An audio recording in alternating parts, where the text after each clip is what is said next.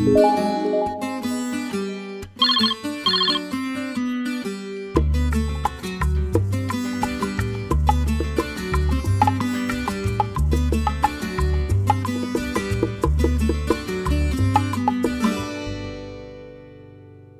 serán unas navidades muy diferentes.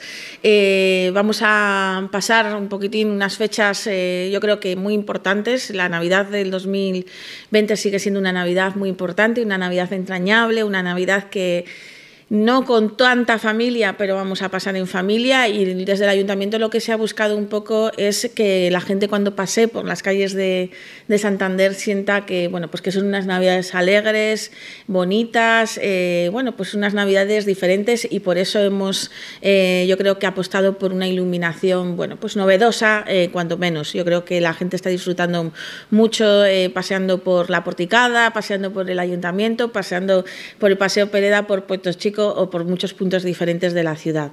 Eh, Navidad en Santander, bueno, pues lo que no vamos a tener, que es una cosa que yo creo que la gente tiene que saber, es, son todos aquellos eventos que por responsabilidad no vamos a tener en la ciudad porque aglomeraban a muchísima gente aquellos bonitos villancicos en Atarazanas. Desgraciadamente este año no podremos contar con ellos, no podremos contar con esas fiestas infantiles que eran las grandes protagonistas de la plaza del ayuntamiento o con esos eventos bueno, pues que aglomeraban y aglutinaban a muchísima gente y que era una de las características de la Navidad en, nuestra ciudad, porque es verdad que teníamos Navipar o que teníamos esos eventos, el Winter, eh, en el Palacio de Deportes con conciertos y con actividades bueno, pues que, que, ya eran atractivas y que estaban en el calendario de no solamente los santanderinos, sino de mucha gente que nos visitaba. Pero por responsabilidad no, ni siquiera nos hemos planteado hacerlos. Sí nos hemos planteado eh, hacer una Navidad y hacer eventos que yo creo que eran muy importantes, como por ejemplo un autocine del que ya hemos tenido una pequeña experiencia con las fiestas de Halloween y tuvo un éxito abrumador y por eso repetimos. Tendremos 10 títulos, la mayoría de cine familiar, en los que, bueno, pues el gran protagonista va a ser la Navidad. Pues vamos a poder ir con nuestros hijos en nuestro coche, nos vamos a montar en el coche un evento totalmente seguro porque no vamos a salir del coche absolutamente para nada y vamos a poder disfrutar pues, de algo diferente, ver una película en el coche con nuestras palomitas, en un ambiente diferente. Y yo creo que a los niños eh, les va a hacer mucha ilusión y a los papás también. Eh, va a ser en los campos de sport del Sardinero, se ha retrasado una semana el inicio de, de ese acontecimiento porque eh, ya sabéis que está el circo, el circo tuvo ahí unos pequeños problemas de última hora con, la con la autorización de, de salud pública. Y lo que hemos hecho es darles una semana más, con lo cual hemos tenido que retrasar el autocine. Pero da igual, hemos reprogramado todo para que todo el mundo tenga cabida en nuestra ciudad y, bueno, pues se va a ver autocine a partir del 23. Del 23 hasta el 4 de enero habrá distintos títulos que anunciaremos nada en estos días. Además, vuelvo a repetir, también estamos esperando el ok de salud pública al respecto. ¿Por qué? Porque volvemos a reiterarnos sin el OK de salud pública, Santander no va a hacer absolutamente nada. Sí, porque vuelvo a repetir y me vuelvo a reiterar. Sí queremos eh, emocionar, queremos que la gente esté feliz, que pase con ambiente navideño, pero sobre todo queremos ser responsables y proteger a los santanderinos. Tendremos un, tenemos ya, de hecho, un Belén en el Mercado del Este que se puede ir a visitar ya, que sabéis que normalmente lo hemos, hecho ya desde hace muchos años en colaboración con Nuevo Futuro.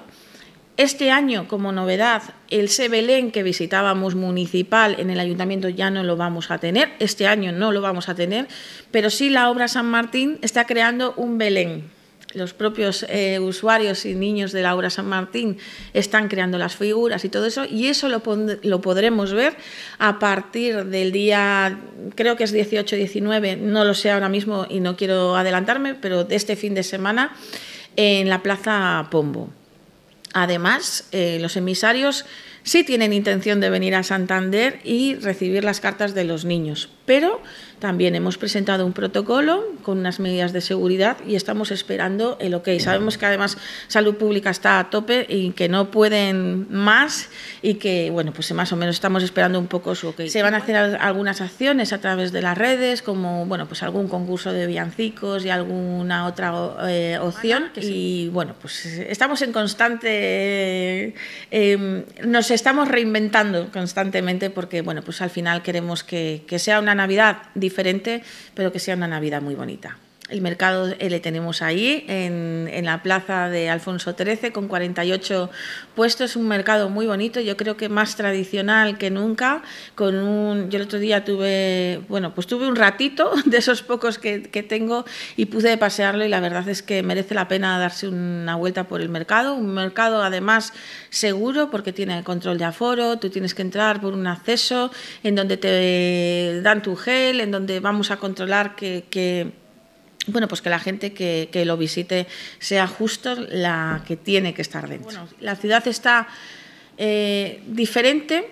Sí que es verdad que la plaza porticada habitualmente, porque es una novedad, la iluminación en la plaza porticada, porque habitualmente ahí estaba la pista de hielo, que este año no ha podido ser pues tiene ese muñeco de nieve, con ese eh, arco de, luces, que es un paraguas de luz que además se está cambiando constantemente de iluminación. Diferente está el ayuntamiento porque teníamos ese árbol eh, hacia un lado que normalmente eso quedaba libre para poder hacer el encendido y eventos muy importantes de la ciudad.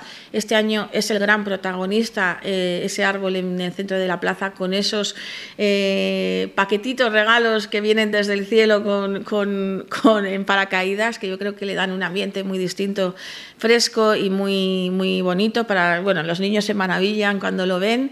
Tenemos además ese... Em, ese árbol de luz en Puerto Chico, con la bandera, con nuestra bandera, con la bandera de, nuestro país. Tenemos esa novedad en el Paseo Pereda, que son esos árboles encintados en, en luz LED. Además está el arco de, perdona, están los dos templetes de Pombo y del Paseo Pereda que habitualmente no se colocaban. Hemos puesto un árbol en la calle Castilla, como todos los años, de 20 metros, pero además hay uno en las estaciones de 14, de 14 metros. Y hay bastantes rotondas que nunca se habían iluminado, que se han iluminado de forma diferente hay calles nuevas que se han iluminado y aunque poco o mucho, algún testigo eh, se ha ido poniendo y se está poniendo en los diferentes barrios de la ciudad. Bueno, al final Santander es una ciudad muy grande, eh, no es eh, una ciudad pequeña como pueden ser las colindantes.